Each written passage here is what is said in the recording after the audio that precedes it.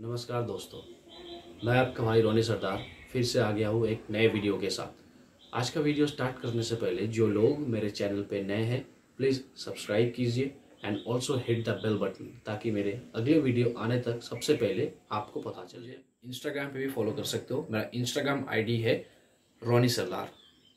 आज का वीडियो का टॉपिक है पाँच ऐसे हर्ब्स के बारे में जिसके मदद से आप अपने इम्यूनिटी को और भी बेहतर कर सकते हो और जो कि आपको आसानी से आपके घर में या किचन में आपको मिल जाएगी। तो आइए जानते हैं पाँच ऐसे हर्ब्स के बारे में। नंबर वन तुलसी। तुलसी एक ऐसा पौधा है जो कि हिंदुस्तान के हर घर में लगभग पाया जाता है। तुलसी में फाइटोकेमिकल्स एंड एंटीऑक्सीडेंट्स रहने के कारण ये क्या करती है? जर्म्स वायरसेस एंड बैक्टीरिया को बॉडी में एंटर होने के बाद ही डिस्ट्रॉय कर देते है। तुलसी को आप रोज सुबह तीन या चार पत्ते ऐसे ही कंज्यूम कर सकते हो। नंबर टू नीम। नीम भी एक ऐसा पेड़ है जो हिंदुस्तान के लगभग हर घर में आसानी से मिल जाता है।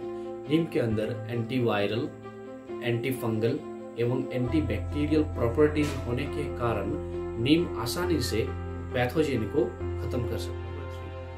जिंजर या अदरक। अदरक भी हम लोगों को आसानी से किचन में मिल जाएगी जिंजर के अंदर जिंजोरल नामक एक एंटीऑक्सीडेंट रहता है, जो कि हमारे इम्यूनिटी सिस्टम को और भी मज़बूत करता है और वायरस को खत्म करता है। गार्लिक। गार्लिक भी हम लोगों को आसानी से किचन में मिल जाएगी गार्लिक के अंदर एलेसिन नामक एक प्लांट कंपाउंड पाया जाता है, जो कि एज ए जर्मोसाइड काम करता है। गार्लिक भी अदरक की तरह हमारे इम्यून सिस्टम को स्टिमुलेट करने में मदद करता है। बट मेक श्योर आप गार्लिक को रॉ कंज्यूम करें या तो फिर हल्के कुक करके ही कंज्यूम करें। नंबर पाँच टर्मरिक या हल्दी।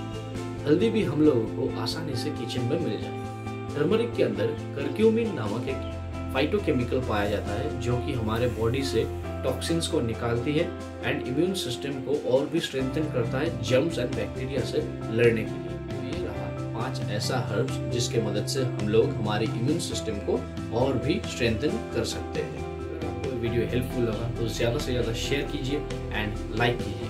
तब तक के लिए जय हिंद, इनकलाब जिंदाबाद, वंदे मातरम, भारत माता की जय।